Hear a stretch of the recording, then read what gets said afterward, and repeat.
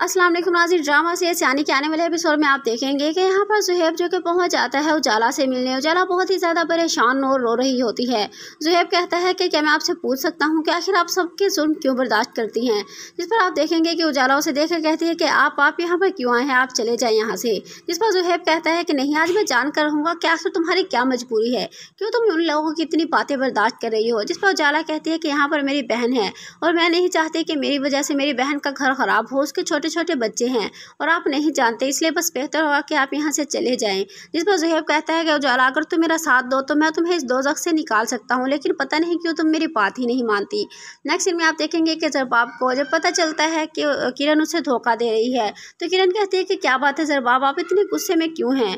जिस पर जरबाब कहता है कि, मैं सोच भी नहीं सकता था कि तुम इस तरह से मेरे साथ फ्रॉड कर रही हो, आखिर ये सब क्या है? जिस पर किरण कहती है तो इसका मतलब है कि आप भी अम्मी की बातों में आ गए आप जानते हैं ना जरबाब, यहाँ पर मुझे कोई भी अच्छा नहीं समझता। और आप मेरा यकीन करें, मैंने तो सबको अपना बनाने की बहुत कोशिश की, लेकिन यहाँ पर कोई मुझे अपना मानने को तैयार ही नहीं।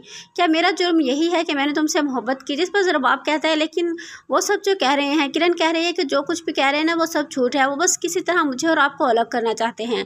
ये सब देखेंगे आने वाले एपिसोड में। वीडियो अच्छी लगी हो तो लाइक कर दीजिएगा, फिर मिलते हैं, इजाज़त दीजिए